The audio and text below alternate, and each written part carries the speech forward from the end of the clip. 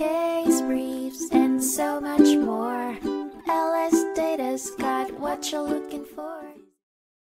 In 1928, the United States Court of Appeals for the Second Circuit heard the case of Wood v. National City Bank, which revolved around the issue of whether innocent stockholders could be held responsible for the wrongful actions of a corporation's directors.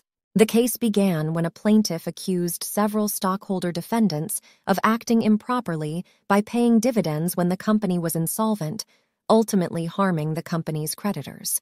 The defendants denied the claim's legality, and the court ultimately found that although the claim was connected to the insolvency issue, it needed more clarity.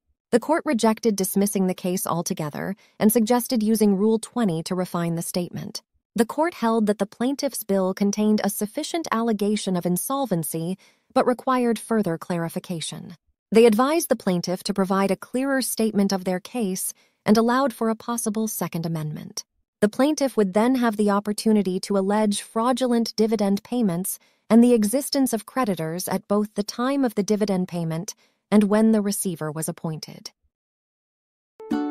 Case briefs, and so much What you're looking for. Visit lsd.law, elevate your mind. Leave the stress of class.